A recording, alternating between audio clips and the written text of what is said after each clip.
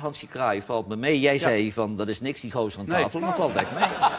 Als je niet een zijn jasje gaat gooien, dan denk Als ik dat... Kuip loopt te zeuren in de krant dat hij gewist wordt. Ik kan me voorstellen, een jongen... Nee, maar over Kuit mag je niks zeggen. Ik Want zeg die moet je zondag weer interviewen. Nee, daar zeg je nee maar over. daar word ik zo moe van Nee, voor jou. Dat is zo daar word ik zo zeikerig moe voor voor. jou. Ja, daar word ik het zo maakt moe mij van. helemaal niks uit. Nee, nee. Kijk, ik kom niet Je houdt overal rekening Nee, mee, man. Ik hou helemaal nergens Natuurlijk. rekening mee. Jullie hoeven nergens rekening. Jullie kunnen hier maar onder je snor uit en met een sigaar uit je oor... kan jij maar gaan lopen blazen over iedereen. Jij komt tuurlijk. toch niemand tegen. Ik kom ze allemaal tegen en ik kan gewoon eerlijk over ze zijn. Ja, maar- Dirk Als je, als je ook die, die je ziet wel eens van die beelden, weet je wel. Dan zitten ze te kijken, dan zit die Maradona zit daar, dan zit, naast hem zit die Ronaldo. Die, die is nog dikker als Terror Jaap. Heb je die wel eens die zit bij... Die zit zo naar zijn best in de keuken zo. Ja. Ik wist niet wat ik zag laatst, zeg. was in Rusland? In Rusland. Ik denk, wat is dit nou toch, joh? Ik moest drie keer kijken, wilde ik hem herkennen. man. Die Heidegger, die loopt gewoon met een rollator, hè? Nee, weet je, daar kan je ook niet opstellen. Nee, dat gaat ook niet dan. Dat, die, die liep met een rollator. Die is met een rollator gesignaleerd in de stad. Dat is de enige man met een rollator die meer dan een miljoen verdient in Nederland.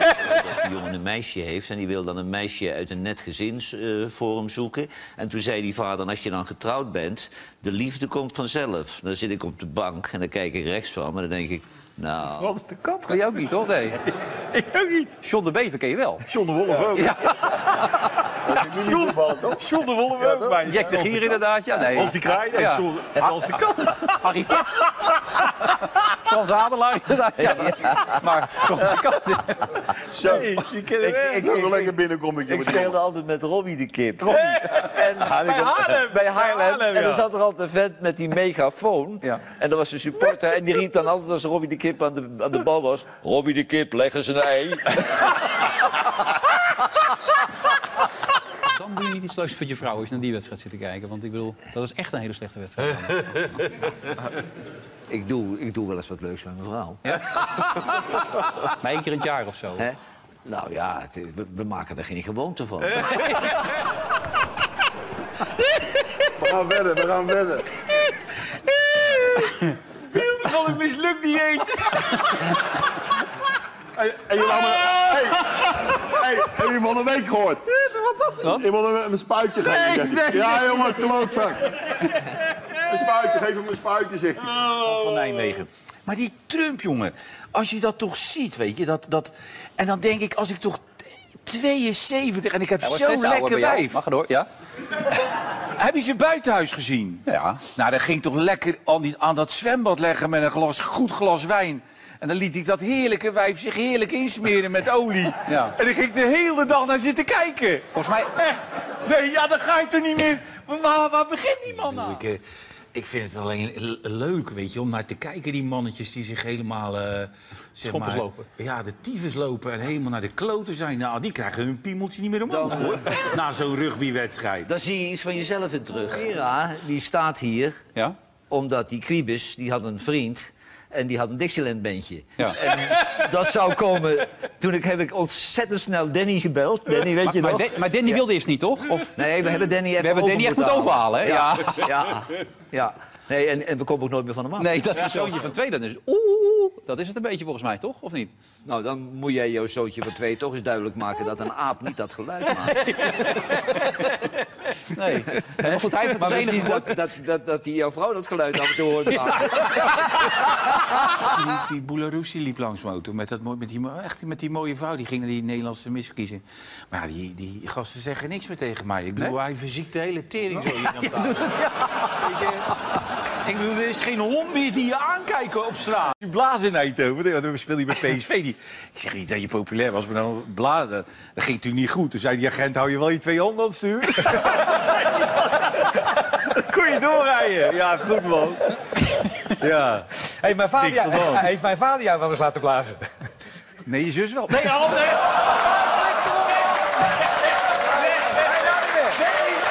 Die zitten kijken, dat kan niet anders. Nou, nee, Dick slaat ons nooit over. Dat bedoel ik dus. Dik is lam. Dik is lam.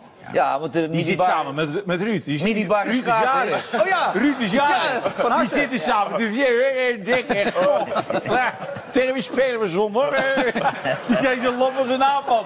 Die zijn lekker wezen lunchen met elkaar. Die Heerlijk. laten daar toch een paar eh, Ja, dames maar- aanrukken. Ja, die, die, van die hele lekkere... Nee, die trekken nog een blik wijf open. Ja, die dik. Voor dik als voor die kleine wijfjes. Ja, ja, ja. Gewoon, eh, ik, had een individuele opleiding. Ik zit gewoon volledig in de klas. Dus Nou ja. ik, eh, Je bent gematst. dus, dus ik ben gemat. Ja, je zit er al bij nu. Ik ben in mijn kont genaaid. Nou ja. Die vuile homo, maar dat kan natuurlijk niet. Hè. Ik, bedoel, ik bedoel, als je nou tegen Albert Verlinde zoiets roept, zeg ik nog vooruit. Maar zo, bij zo'n wedstrijd kan je dat niet maken natuurlijk, of wel? Nee? Nee, dat kan je niet Maar, maken. maar het past ook niet zo in ons eh, programma. Nee. Je welke speler een geweldige lul is? Nee? De speler die ooit een strafschop mist tegen Sillissen. Ja. Hè? Nou ja, jongens, we kunnen wel helemaal belangrijk Vincent maken. Bijlo. Hey, we kunnen...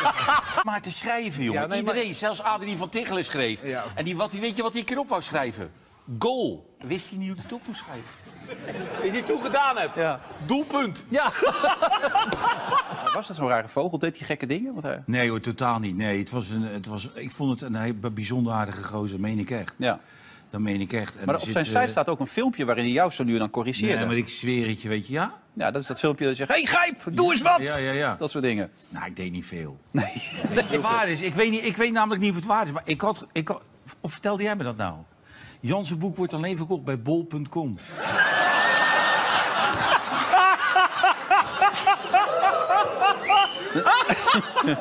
fout, fout. Ja, lach maar, joh. Lach maar, joh. Klote.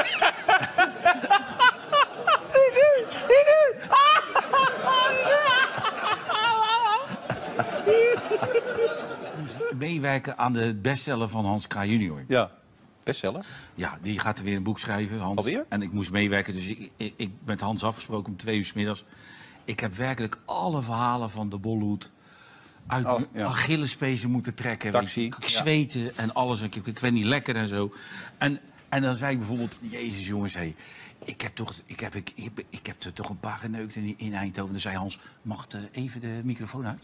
En dan deed die jongen, die deed dat cassettebandje uit, zei Hans, ik ook. Hij mag weer. Een lastige vraag van Thijs Pessers uit Breda. Die vraagt zich af hoe hij aan zijn vrouw moet uitleggen... dat Sillissen de keeper van het Nederlands elftal is. Hij Dat- moet helemaal niks aan zijn vraag. Nee, niks aan zijn vrouw Nee, vertellen? dat, Nee, dat- niet doen? maar dat, dat moet je nooit doen. Gewoon, gewoon ontkennen en zeggen dat Sillissen niet de keeper van Nederland zelf Oh, is. niet waar. Nee, dit is trouwens bij MVV gestolen. Die schijnt gestolen te zijn. Ja, dat klopt, ja. Hier een vraag van een hele geile oma. Waar komt ze vandaan? Johan, mijn moeder van bijna 78, vindt dat jullie weer een beetje ordinair mogen worden. Oh. Ze vindt het een beetje saai worden. Nou, dat is wel lekker. Die zit elke dag avond met de Jarretel van ons aan te kijken. Die, eh, Ja. Als je die op de kont slaat, vliegen de bromvliegen uit de neus gaan.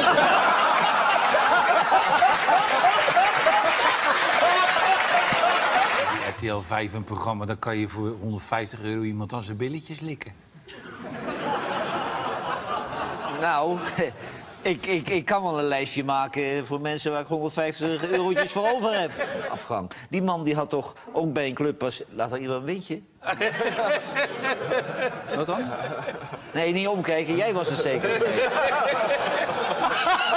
Ja, ja, plezier. Ja, dat is ook een hele, hele aardige vrouw. Intelligente vrouw Dat ook. een is echt een leuke vrouw. Ja, die had een gebreide kut bij zich. Die had een? Gebreide kut.